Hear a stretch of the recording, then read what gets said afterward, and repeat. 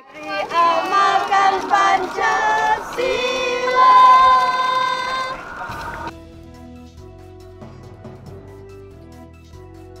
Awalnya hanya dari keprihatinan kita uh, mengikuti teror yang terjadi di Surabaya.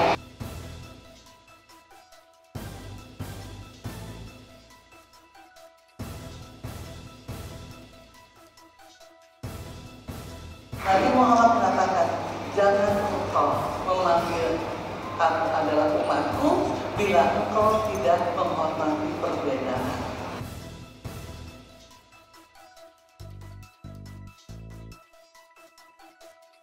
Karena teman-teman ini ingin meneguhkan kalau kita beberapa waktu yang lalu sempat terguncang karena peristiwa Surabaya, maka kehadiran teman-teman di sini ada merasa nyaman di sini membuat kami semua juga merasa berbahagia.